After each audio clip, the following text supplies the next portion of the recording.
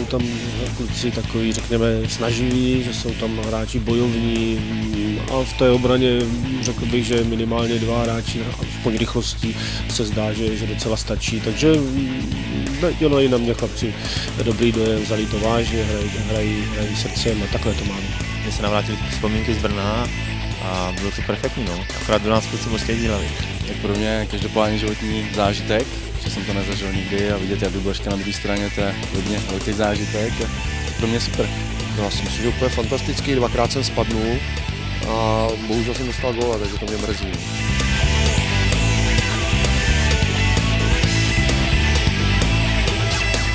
No, úplně skvělý, prohráli jsme asi dost. Jako kluci byli lepší, že jo, samozřejmě, ale nebylo to špatný. Zahráli jsme si pěkně a mohli jsme dát víc gólů, no, škoda. Já si myslím, že pro ty kluky, co takhle si s náma přijdou zahrát, že si můžou zahrát, já nevím, s Baškem, s Vaclíkem, nebo s Horvátem, s kýmkoliv, prostě, tak je to asi pro ně zážitek a, a budou si to pamatovat na dlouho, si myslím.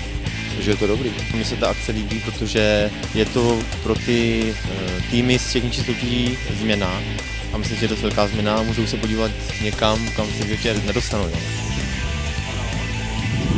Nezahráli, tak je to vlastně pro ně něco parádního zážitek na celý život vlastně, takže já tomu dávám palec nahoru.